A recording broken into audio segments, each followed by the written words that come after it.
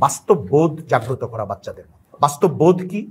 বাস্তব বোধ হলো সবসময় এটা বোঝানো যে জীবনের এতটুক আমাদের আছে, এতটুক না পেলে মরে যাওয়ার দরকার নাই।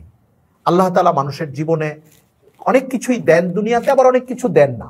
এটা পরকালে দিবেন যদি আমরা আল্লাহর কাছে চাই নেকামল করি। এবং বাস্তব একটা বুদ্ধি তার ভেতরে জাগ্রত করা, চিন্তা জাগ্রত করা, দিনের সঙ্গে মিলিয়ে এবং সামাজিকভাবে সব মানুষ তো শিল্পপতি হবে না। সব মানুষ তো সমাজে মন্ত্রী মিনিস্টার হবে না। সব মানুষ তো হাজার কোটি টাকার মালিক হবে না বিলিয়নার হবে না। সব মানুষ তো পাঁচ লাখ, দশ লাখ টাকা মাসিক স্যালারির চাকরি করবে না। এটা আমার সন্তানকে বোঝানো যে অল্পে তুষ্টিটা তার ভেতরে দেওয়া বাস্তব বুদ্ধি যেটাকে বলে যে, বাবা বা মা, দেখো জীবন এরকম। একটা মেয়ে শ্বশুর বাড়িতে যাবে, ভয়াবহ নির্যাতিত হওয়ার আগ পর্যন্ত তার মানসিক আঘাতের অনেক স্তর থাকতে পারে। এটা সে মনে করেছিল, বাসায় এটা থাকবে, এটা নাই। খাদ্যটা এমন হবে, এটা নাই। তাকে এটা বুঝানো যে জীবন নানান রকমের বর্ণ থাকে জীবনে রং থাকে। কোনো পরিবারে প্রতিদিন ভালো খাবার খায়, কোনো পরিবার প্রতিদিন ভালো খাবার খায় না। কোনো পরিবারের সবাই সবচেয়ে দামি শপিং মলে গিয়ে বাজার করে শপিং করে, কোনো পরিবারে এটা করতে পারে না। কোনো পরিবারের দুইটা, তিনটা গাড়ি থাকে, কোনো পরিবার লোকাল বাসে চলে। সবাই মনে মনে সুস্থ থাকার বিষয় আছে। দিন থেকে এবং বাস্তব জীবন থেকে